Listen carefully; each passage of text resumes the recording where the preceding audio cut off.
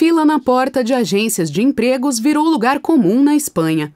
Esse grupo faz parte dos 5 milhões de desempregados do país. De la noche a la mañana. É assim, da noite para o dia. Você chega para uma reunião e fica sabendo que no dia seguinte não tem mais emprego.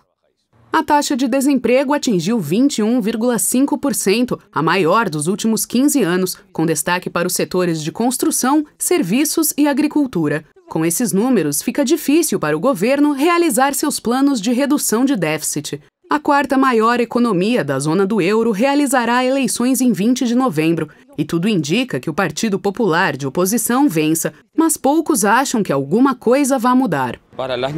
A melhor coisa a fazer é tentar emigrar no ano que vem para um país com uma economia que ofereça mais oportunidades.